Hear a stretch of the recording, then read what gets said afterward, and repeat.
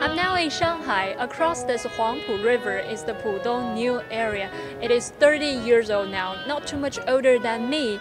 It's still a very young place. Now, during this period of time, it has developed from a rural farmland into a glistening mass of skyscrapers. During my trip this time in Shanghai, I'm just gonna find out how it feels like to live and work here. I think the most direct way is to talk to people. 我来上海三十年了，当初来的时候对面都是农田，以前都是那个造造船厂，就是船。老早外滩只有得搭几幢房子啊，对过没房子啊，像平地一样的。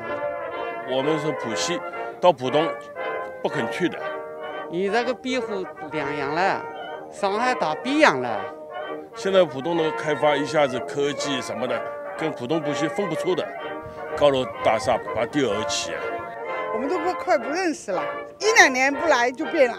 其实我们也经常是出国去旅游啊什么的，兜了一圈下来，我觉得还是上海最好了。这样说要给人家妒忌了，谁不知道？上海是个世界的上海啊，也是中国的上海，更是上海的上海。我们生活在上海，觉得很开心，环境各方面都在改善，包括治安都在改善，真的很方便，很人性化的。啊，蓝天白云。对吧？真的很好，希望到上海来玩。上海欢迎侬。